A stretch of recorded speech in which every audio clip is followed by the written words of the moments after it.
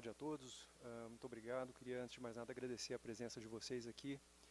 Uh, ela no, nos dá a oportunidade de explicar e, e, esclarecer, caso vocês tenham perguntas depois dessa breve exposição que eu vou fazer, uh, o relatório, a decisão que saiu hoje lá na OMC do órgão de apelação sobre dois contenciosos muito parecidos, mas que são formalmente distintos, que foram movidos pela União Europeia e pelo Japão contra o Brasil e que envolveram diversos regimes tributários brasileiros. Uh, esse relatório ele deve estar sendo colocado no site da OMC agora e vocês devem se lembrar que o relatório do painel, né, na etapa anterior desses contenciosos, ele foi divulgado em 30 de agosto do ano passado, 30 de agosto de 2017 e que o Brasil notificou à OMC a sua decisão de apelar de vários aspectos do, do, relatório do painel no dia 28 de setembro de 2017. Então, um pouco mais de um ano depois, a gente tem agora o relatório do órgão de apelação. É, as medidas questionadas pela União Europeia e pelo Japão foram sete. Eu vou lê-las rapidamente aqui para vocês. A primeira é a Lei de Informática, é, uma, é um programa antigo já que foi iniciado em 1991 e que tem toda uma legislação derivada, né, decretos e portarias. Uh, o segundo é o Programa de Apoio ao Desenvolvimento Tecnológico da Indústria de Semicondutores, que é conhecido pela abreviação de PADIS. Uh, a terceira medida é o Programa de Apoio ao Desenvolvimento Tecnológico da Indústria de Equipamentos para TV Digital, PATVD. O quarto é o programa chamado Inclusão Digital. O quinto é o Inovar Alto, Uh, o sexto programa questionado, ou a medida questionada, foram suspensões que o governo brasileiro instituiu da cobrança de tributos nas aquisições de insumos por empresas que são caracterizadas na legislação brasileira como empresas predominantemente exportadoras. E aí uh, passaram a ser referidas como PEC, na sigla em inglês, Predominantly Exporting Companies. Né? Então essa foi a sexta medida questionada. E a sétima parecida com a sexta, é um regime que se chama Regime Especial de Aquisição de Bens de Capital para Empresas Exportadoras. Esse é o RECAP. Então, um total de sete uh, regimes tributários tiveram em questão e foram questionados pelo, pela União Europeia e pelo Japão. O painel tinha concluído no seu relatório que todas as sete medidas eram incompatíveis com a OMC e que, de uma maneira ou outra, eram subsídios proibidos. Né? Vocês devem conhecer uh, uh, a legislação da OMC, você tem um acordo, que é o acordo de subsídios, que uh, classifica os subsídios em três tipos, basicamente. Você tem os proibidos, que são é, é, é um conjunto reduzido, são dois tipos que são subsídios proibidos, uh, independente da, da, das características ou da forma, se eles tiverem determinadas condições ali, eles são considerados proibidos e ponto. Né? Tem os subsídios que, não sendo proibidos, podem ainda assim ser acionados por conta dos efeitos que eles causam, efeitos adversos, né? Eh, no comércio internacional, e um terceiro grupo são os subsídios que não são nenhum nem outro e que, em princípio, são permitidos. Né? O painel considerou que os sete eram subsídios proibidos. Uh, e ele, além disso, bom, no caso dos cinco primeiros regimes, esses que eu mencionei, Lei de Informática, PADIS, PATVD, Inclusão Digital e Inovar Alto, o painel entendeu que eles eram subsídios proibidos porque eles envolviam um requisito de conteúdo local. Esse é um tipo de, de requisito que faz com que o subsídio seja considerado proibido. Né? E no caso dos outros dois, aquele do PEC e do RECAP, né, sobre as suspensões tributárias, o painel entendeu que eram subsídios proibidos porque eles eram condicionados a desempenho exportador. Né? o órgão de apelação, na decisão divulgada hoje, reverteu várias, várias conclusões da, do painel eu vou resumir para vocês aqui é, essas reversões. Uh, eu acho que o pessoal aqui distribuiu umas informações de apoio que dão um pouquinho mais de detalhe uh, sobre o, o, que disse o painel e sobre o que o órgão de apelação entendeu. A primeira coisa importante, com respeito aos, às duas últimas medidas que eu mencionei, PEC e RECAP, o órgão de apelação reverteu completamente a decisão do painel. Ele concordou com o Brasil em que uh, nenhum desses dois regimes envolve a concessão de subsídios. Né? Então, teve toda uma discussão técnica ali para entender se a, se a suspensão da, da cobrança de IPI nas aquisições de insumo por essas empresas era ou não subsídio. Uma longa discussão, vocês podem ver isso discutido no relatório do órgão de apelação, e no fim das contas, o órgão de apelação deu razão ao Brasil e reverteu as conclusões do painel quanto a esses dois regimes. Isso para o Brasil, é, e está aqui o, o João Resch, da Receita Federal, para que não me deixa mentir. Né? E isso foi de grande importância, porque esses dois regimes eles têm uma cobertura muito ampla, não são setoriais, se aplicam a diversos setores da economia brasileira. E essas medidas são fundamentais do ponto de vista da Receita Federal para fins de administração tributária, para evitar que as empresas acumulem créditos tributários e não tenham condições de utilizar esses créditos nas suas operações. Então, é, essas reversões do órgão de apelação foram é, absolutamente fundamentais e de grande importância é, para o Brasil, para a economia brasileira como um todo. Uh, bom, então esses são os dois últimos daqueles sete regimes que eu mencionei. O órgão de apelação reverteu o painel completamente. Com respeito às condenações que o painel tinha feito do PADIS, aquele de semicondutores, e dos programas Inclusão Digital e do Inovar Alto, inclusive, o órgão de apelação reverteu a conclusão do painel de que esses três eram subsídios proibidos. Ele manteve um aspecto da uma, uma conclusão do painel sobre incompatibilidade desses programas, eu vou falar agora há pouco, mas o painel tinha ido além. O painel tinha dito que esses três programas eram subsídios proibidos e o órgão de apelação reverteu essa, essa determinação com respeito ao PADIS, né, inclusão digital e inovar alto. Uh, com relação aos outros dois daqueles cinco programas, que são a Lei de Informática e o de TV Digital, PATVD, o órgão de apelação também modificou consideravelmente uh, as conclusões do painel e, com isso, ele restringiu consideravelmente, digamos assim, o, o, as situações em que esses programas podem ser considerados como subsídios proibidos. Isso tem a ver com uh, uma exigência que o governo brasileiro colocou nesses programas, que é a seguinte: para que as empresas possam se beneficiar dos incentivos que são estabelecidos ali, as empresas têm que cumprir certas etapas produtivas no Brasil. Né? E isso muitas vezes está associado a um instrumento uh, de, da legislação brasileira que, que, se chama Processo Produtivo Básico, né, conhecido pela abreviação de PPB. O painel tinha concluído que todo e qualquer PPB implicava uma exigência de conteúdo local que era que seria proibida pelo acordo de subsídios. E não só isso, para o PADIS e para os programas de inclusão digital e Inovar Alto, o painel, em, embora eles não envolvessem necessariamente PPBs, o painel ainda assim entendeu que os requisitos ali implicavam requisitos de conteúdo local.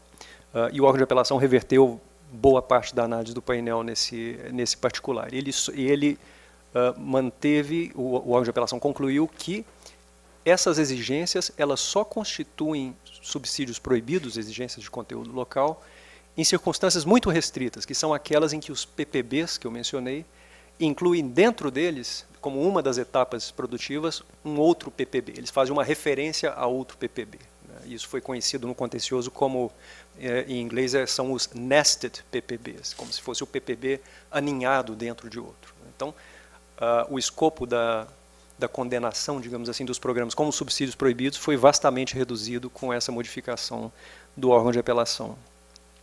Uh, e por fim, bom, aí o órgão de apelação sim manteve conclusões do painel aplicáveis aos cinco primeiros programas, não ao PEC e ao RECAP, mas sim aqueles Lei de Informática, PADIS, PATVD, Inclusão Digital e Inovar Alto, com respeito à sua compatibilidade, não com o acordo de subsídios, mas sim com o GATT, particularmente uh, com a disciplina de tratamento nacional.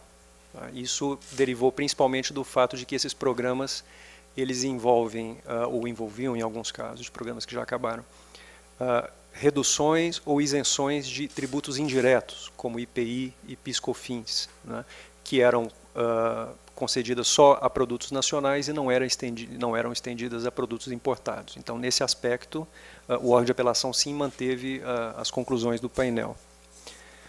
É, agora, mesmo nessa análise, também é, é, é, bom ter presente que o órgão de apelação reverteu parte do raciocínio do painel no que diz respeito a uma questão que foi arguída pelo Brasil e extensamente discutida na apelação, que é a seguinte, na, na cláusula, no artigo 3 do GATT, que fala dessa disciplina de tratamento nacional, existe ali uma exceção para uh, medidas que são subsídios, uh, que são pagamentos de subsídios exclusivamente a produtores domésticos. O Brasil procurou argumentar que essas medidas eram justamente isso, né, que, portanto, teriam que ser, uh, não se aplicaria a elas a regra de tratamento nacional.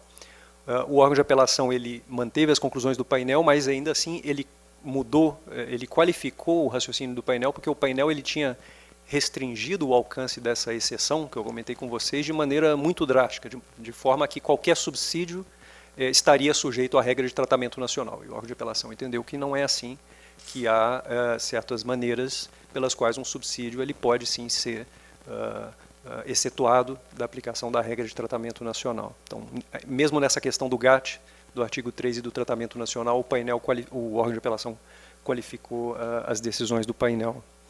Uh, e último ponto, uma outra, um outro aspecto em que o órgão de apelação também reverteu o painel foi no prazo dado para que o Brasil implemente uh, as determinações desse caso. Né? O painel tinha dado um, no seu relatório um prazo de 90 dias. Esse prazo de 90 dias ele era tipicamente associado a subsídios proibidos. Né? Como o painel tinha entendido que tudo era subsídio proibido aqui, ele deu 90 dias para o Brasil implementar as determinações desses contenciosos. Uh, o órgão de apelação ele reverteu isso também, ele concordou com o Brasil em que o painel não tinha explicado suficientemente as razões para dar 90 dias, uh, mas o órgão de apelação ele não, ele não uh, colocou no relatório um prazo, uma recomendação, uma determinação de prazo dele próprio. Ele não disse se vão, se vão ser uh, 100, 120, 150 dias. Ele diz que não, ele, o, o, alcance do que o, órgão de apelação pode fazer é limitado. Né? Então, ele não tinha elementos ali suficientes para uh, dar ele mesmo um prazo específico para o Brasil implementar as determinações desses casos. O que ele disse só é que Naquilo que diz respeito a subsídios proibidos, como a gente conversou, isso virou um escopo muito restrito em comparação ao caso original. O que diz o acordo de subsídios é que o Brasil deve retirar sem demora, né? o termo do acordo lá é esse, without delay. E é esse sem demora que o painel tinha dito que eram 90 dias e que o órgão de apelação reverteu. Então, o que o órgão de apelação deu ali como é, orientação, digamos assim, é que o sentido dessa expressão sem demora deve levar em conta a natureza das medidas em questão e os procedimentos domésticos uh, disponíveis para efetivar ou as revogações ou as modificações que o país entender uh, necessárias nas medidas que foram objeto das determinações do caso. Tá bem? Pessoal, como introdução era isso que eu tinha a dizer para vocês. Como eu falei, uh, nós circulamos aí umas informações de apoio, elas estão disponíveis no site também. Se vocês tiverem alguma pergunta, quiserem fazer, eu só pediria que fizessem no microfone e que dissessem uh, o nome e o veículo para o qual vocês trabalham.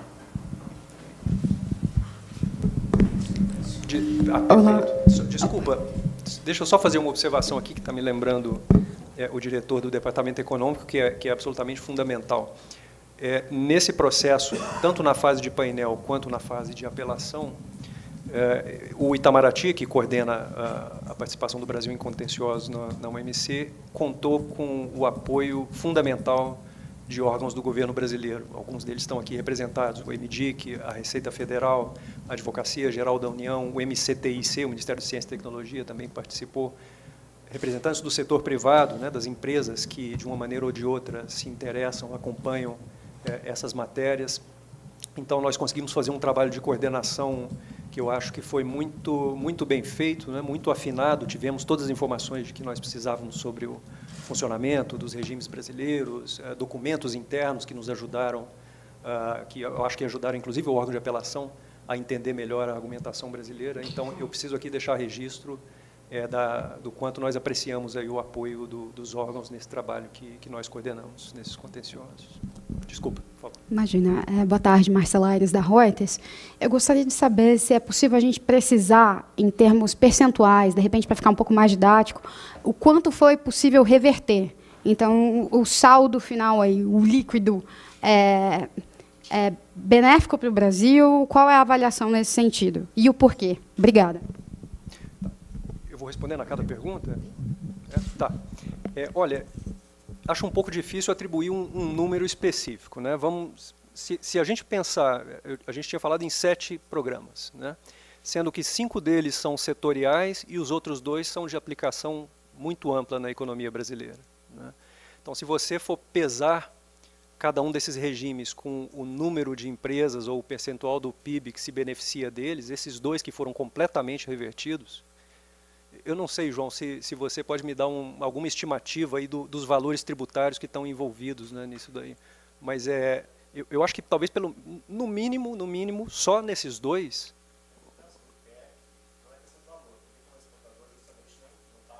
Mas, mas, digamos assim, do, do, percentual da economia do, do PIB brasileiro que faz uso né, desses programas. Os outros são setoriais e esses são mais amplos. É, eu não saberia dizer em relação ao PIB, mas são aproximadamente 500 empresas que estão habilitadas no programa eh, de preponderantemente exportador. É um número considerável. Esses outros regimes foram condenados, é bem menos. É, só o PEC são Só no PEC. E tem no o RECAP também, né? é, O RECAP também tem uma quantidade razoável. Né? Os outros regimes são muito setoriais, como é. falaste, então eles não, não têm esse alcance todo, não. Eu diria que, nesse ponto, foi bom. Foi é. bom realmente os dois regimes que a gente conseguiu evitar uma punição são os mais relevantes. É.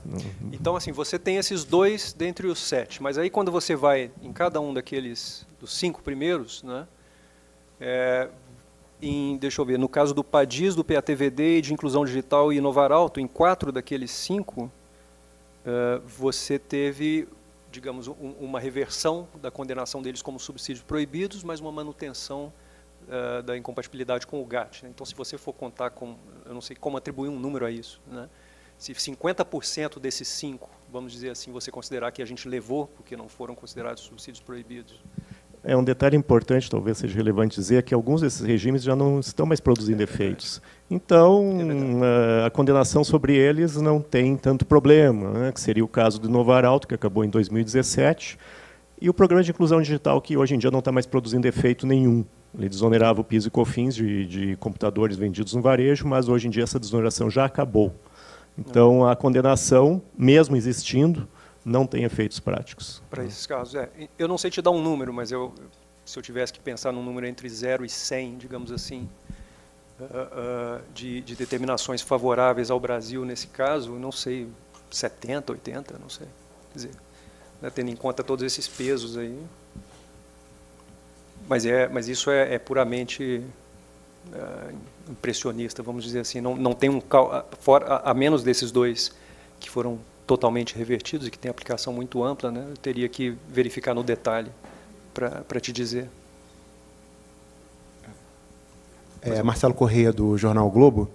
É, queria só tirar uma dúvida. É, em que medida a decisão, especificamente do Inovar Alto, é, gera incerteza em relação à Rota 2030, que tem é, é, é, características né, parecidas? Isso tem algum impacto sobre a Rota 2030?